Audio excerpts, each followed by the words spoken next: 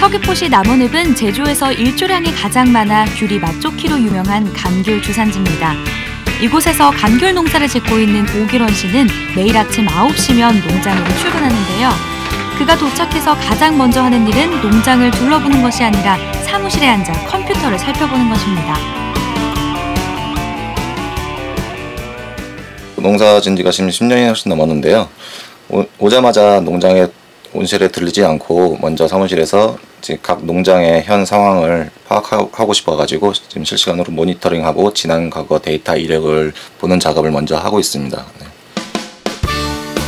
그가 재배하는 농장은 세개소로 약 15,000제곱미터입니다. 특히 최근에는 감귤 수확을 앞두고 한창 바쁠 시기인데요. 하지만 정신 없을 거라는 예상과는 달리 농장 안은 매우 평온합니다. 이곳에서 일하는 사람은 오길원 씨 단 한 명뿐인데요. 혼자라 더 바쁠 것 같지만 그는 여유롭게 농장 내에 설치된 스마트팜 장비만 살펴볼 뿐입니다. 스마트팜은 어, 농장 내에 온실 안에 각종 센서, 환경 센서를 이용해 가지고 각종 정보를 수집을 하고요. 그로 인해서 제어를 하고 그리고 데이터 수집을 하고 모니터링하는 그런 시스템입니다.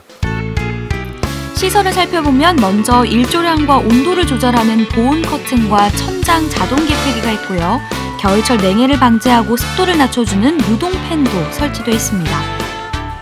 그리고 자동으로 물을 공급하는 관수 조절 장치와 온도가 비정상적으로 높을 때 온도를 낮춰주는 배기 팬도 있는데요.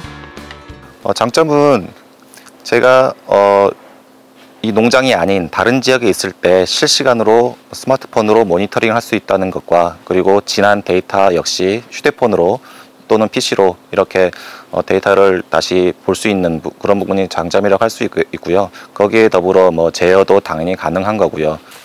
이러한 시스템 덕분에 큰 화재도 피할 수 있었는데요. 그 과열로 인해서 화재가 난 거고요. 지금 보면은 이쪽 비닐이 그 불똥으로 인해서 녹아 내려가지고 커튼에 불이 붙어서 이, 이 과수까지 영향을 미치는 상황이었는데요. 지금 저쪽 뒤에 있는 확산 소화기 한 대가 터졌고 그리고 온도 변화가 환경 센서에 온도 변화가 있었는지 자동으로 저 배기 팬이 돌아가 가지고 일단 제가 왔을 때는 모두 소화가 된 상태였고요. 또한 이곳에는 360도 회전하는 광학 줌 카메라가 설치되어 있는데요. 이를 통해 감귤나무에 피해를 입히는 벌레를 확인할 수 있습니다. 특히 사무실 외에 멀리 떨어진 집에서도 카메라의 줌을 32배까지 확대해 모기보다 작은 병해충까지 확인할 수 있는데요. 이렇게 카메라를 통해 병해충이 발생할 기미가 보이면 곧바로 무인 방제기를 가동해 약을 살포합니다. 예, 가정에서 PC로 직접 농장에 오지 않고 먼저 1차적으로 확인을 하고 그 다음에 농장에 와서 이 차 제대로 된 그 예차를 하는 게 예, 효과적이라고 봐서 저는 이런 식으로 운영을 하고 있는데 이번에는 스마트폰 카메라로 온실 안의 바닥을 꼼꼼히 비춰봅니다. 과연 무엇을 하는 걸까요? 누수 현황이 있는지 여러 장 카메라로 체크를 먼저 해보는 거고요. 지표형과 달리 이쪽에 더 까맣죠. 그러니까 여기가 그만큼 물이 많이 고여 있다는 얘기가 되기 때문에 이 부분까지도 체크를 해서 어떤 새는 어, 누수 현황은 없는지도 체크를 해야 됩니다. 스마트팜에서 자신감을 얻은 오기론 씨는 여기에 그치지 않고 드론까지 새롭게 도입해 단결 농사에 적극적으로 활용하고 있는데요. 네, 드론 같은 경우는 강풍이거나 강풍이 불거나 아니면 태풍이 지나간 후 그리고 이런 어, 기상 환경에 따라서 그 이후에 드론을 띄워가지고 온실의 상, 외부 상, 상태를 확인하는 목적으로 사용하였고요. 그 외에 어, 노지 감귤 같은 경우에는 방풍수가 부러지는 현, 어, 현상도 나타날 수 있기 때문에 그런 것까지도 지금 체크를 하고 있습니다. 네. 오늘은 특별한 모임이 있는 날입니다. 독학으로는 한계를 느낀 오기론 씨는 같은 고민을 하는 농부들과 스마트팜 연구회를 만들어 도움을 받고 있는데요.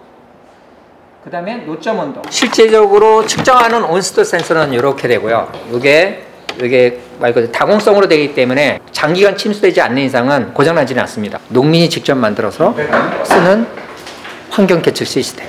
이게 나중에는 인공지능까지 다 할 수, 응용할 수 있어가지고요. 그래서 기초적인 단계부터 지금 교육하고 있습니다.